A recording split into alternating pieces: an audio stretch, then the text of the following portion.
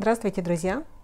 Я сегодня вас хочу познакомить э, с новинкой. Это швейная машина Elna Experience 450. Замечательная машина, компактная, устойчивая в работе, выполняет 30 различных швейных операций, включая рабочие строчки, одну петлю. Это модель электронного класса с горизонтальным вращающимся челночком. А машина подходит как для продвинутых швей, так э, подходит и для начинающих, кто только планирует э, или учится э, заниматься швейным делом. А также хочу порекомендовать эту модель для ребят школьного возраста, для самых младших модельеров. Вот. Есть дети, которые тянутся к швейному делу с ранних лет, со школьной скамьи, поэтому давайте, друзья, их поддерживать и поощрять всячески. Тем более с этой конкретно моделью справиться очень легко даже ребенок. Давайте с ней познакомимся поближе, я проведу обзор. Швейная машина Elna Experience 450 – это машина электронного класса. Она имеет горизонтальный вращающийся челнок, двухступенчатый подъем лапки. Заметьте, что легко справиться с любой толщиной. А, заправку нитки в иглу. Сбоку есть нож для обрезки нити – регулировка натяжения нити присутствует, а, а также свободный рукав для шитья узких деталей по кругу. Есть кнопка для того, чтобы опустить зубчатую рейку. Рукав имеет отсек для хранения аксессуаров. Швейная машина выполняет 30 различных швейных операций, включая рабочие, это прямые строчки, а, строчки зигзаг, оверлочные строчки, подшивочные, декоративные и одну петлю. На корпусе машины есть кнопка старт и стоп, при помощи которой вы можете шить, не используя педаль, а также кнопка закрепки, кнопка точечной закрепки, позиционер иглы в верхнем и нижнем положении и скорость шитья, а также кнопки для выбора режимов а, швейная операция. Каждая строчка имеет а, свою цифру. Для того, чтобы выбрать какую-либо строчку, мы должны вот таким образом переключать и выбирать нужную нам операцию. Для использования различных регулировок ширины зигзага мы нажимаем на кнопочку, тем самым мы переходим в режим а, выбора ширины зигзага. Нажимаем далее на кнопочку, загорается индикатор длины стежка. Можно регулировать здесь длину стежка. В комплектацию к швейной машине входит вот такая вот лапка для выполнения петли. Три шпули. Лапка для сшивания молнии. Лапка для выполнения а, аппликаций и сатиновых строчек. А также компания Elna предлагает э, вот такие вот э, иглы от фирмы Аркан в количестве трех штук. К этой машине есть э, два стержня для катушкодержателей. Устанавливаются они сверху на машину для намотки шпули, для использования двойной иглы и при обычном режиме шитья. Инструкция очень понятна и доступна на, рус, на русском языке. Ребята, здесь э, все подробно написано, разберется даже школьник. Мне очень понравилось, э, что поэтапно все прописано и есть картинки. Как заправить верхнюю нить, как заправить нижнюю нить, какие лапки для каких видов строчек применяются. В общем, очень хорошая инструкция. Также здесь есть подсказки, какие использовать иглы, какие ткани машина шьет, легкие, средние, тяжелые. Поэтому машину рекомендуем. Давайте с ней протестируем несколько видов строчек. Машина у нас настроена на прямую строчку, это 0,1.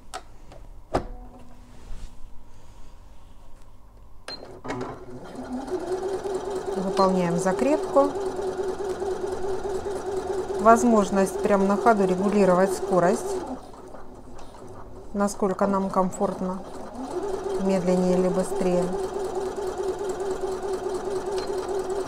закрепка в конце и остановка машины.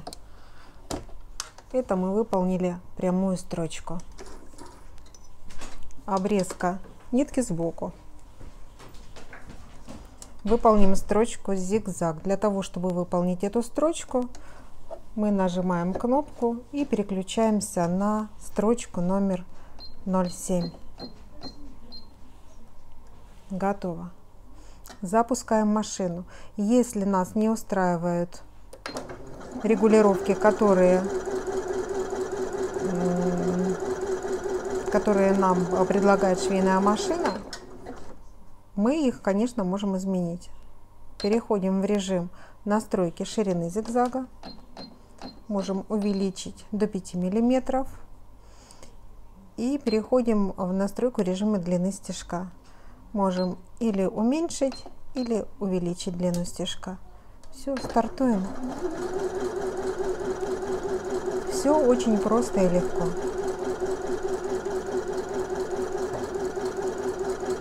Останавливаем машину. А нравится то, что при остановке иголочка у нас всегда в верхнем положении, это удобно. Вот так у нас выполнены строчки зигзаг. Давайте выберем еще с вами декоративную строчку. Опускаю лапку.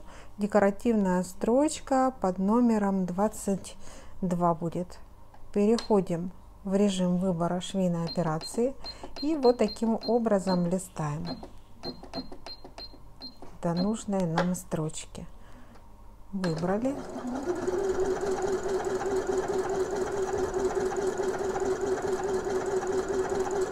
Машина выполняет 30 швейных операций, включая рабочие строчки.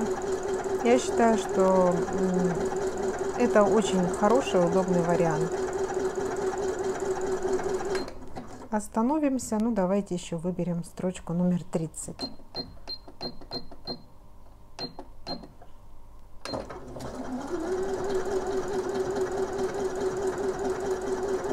У машины хорошее продвижение ткани. Машина, в принципе, достаточно тихо работает. Мягкий ход. Не вибрирует. Очень устойчиво. Ребята, мне машина эта очень нравится.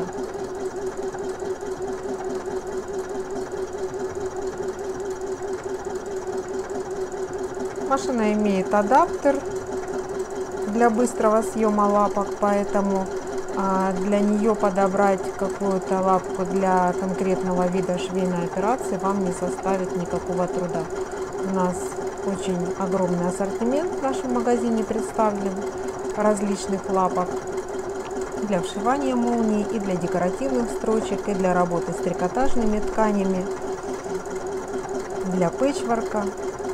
Поэтому я считаю, что вы, это отличный вариант. И приобретя эту машину, вы останетесь довольны. А, хочу еще сказать, вот смотрите, вот такие вот замечательные образцы. А для чего нужен позиционер иглы? А, верхнее и нижнее положение. Как вы заметили, что машина в шитье останавливается очень удобно всегда в верхнем положении. Но есть такие моменты, когда мы настрачиваем карман или делаем отстрочку. Давайте я сейчас это вам продемонстрирую на прямой строчке.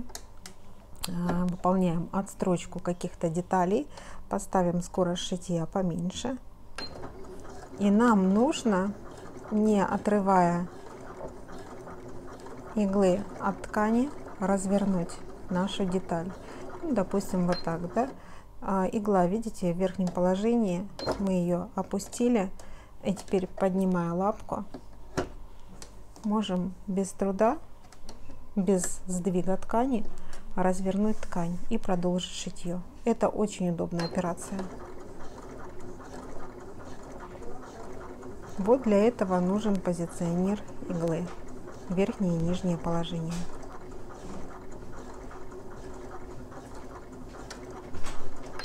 Давайте выполним петлю.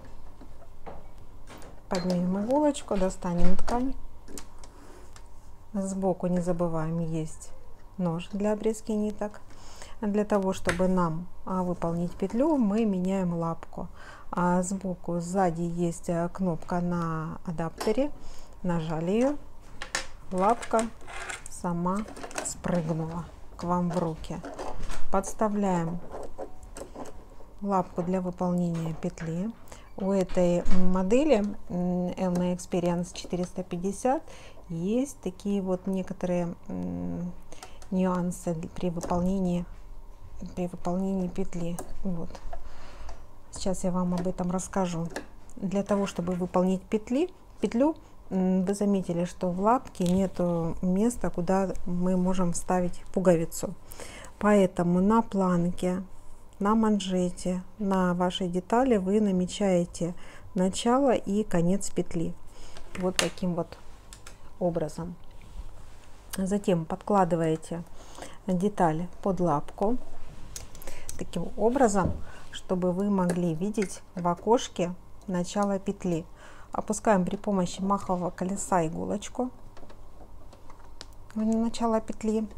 Все, мы готовы к работе. А теперь а, до конца, до упора назад сдвигаем лапку, опускаем ее. Выбираем, конечно же, петлю, петля номер 17. Это нужно было сделать в начале нашей операции. Вот, машина сама вам рекомендует настройки там, ширины зигзага и длины стежка. В процессе выполнения петли, конечно, вы сделаете это на э, каком-то э, дополнительном лоскуте материала и выполните соответствующие уже настройки, если вас что-то не устроит. А, все, лапку опустили, иголочку опустили, запускаем машину, стартуем. И обязательно нужно наблюдать, чтобы в окошечке показался, показалась а, карандашом наметка размера петли, конец петли. Держим пальчик на кнопке. Вот, если вы обратите внимание, то э, меточка наша показалась. Теперь нам нужно нажать на кнопку реверса. Происходит сдвиг иглы в правую сторону. Стартуем. Машина выполняет укрепительную строчку второй стороны петли. Доходим до начала, останавливаем машину. Опять нажимаем на кнопку реверса. Машина выполнит закрепку. И выметывает вторую сторону петли. Здесь тоже важно не прозевать где нужно остановить машину. Все, достаточно. А мы дошли до края. Теперь мы еще раз нажимаем на реверс для того, чтобы машина выполнила закрепку, чтобы петля была законченная и не распустилась.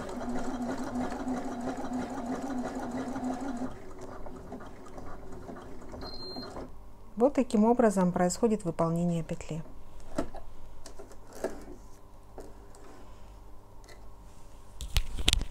Осталось прорезать и петля готова. Мне машина нравится, она хорошо подойдет как для профессионалов, так и для начинающих. А, поэтому смело можете приобретать.